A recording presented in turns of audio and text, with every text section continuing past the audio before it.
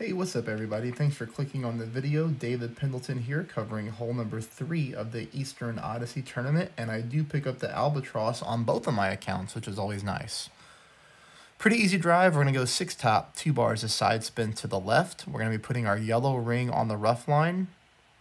Ball guide line pretty much going down the middle of the fairway. Here we're going to pull 0% at max. We're not going to use any overpower. This is just a standard shot.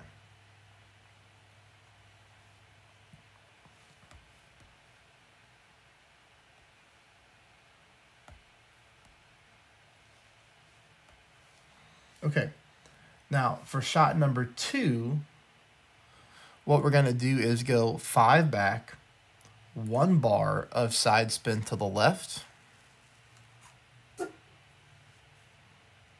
0% at max. Notice I'm going to put my ball guideline a little bit short of the pin, just like this. I made this at 4.5 and I made this at 2.2, so you know, the funny thing about that is on my first attempt in real mode, which is this shot right here, I was hit with max wind.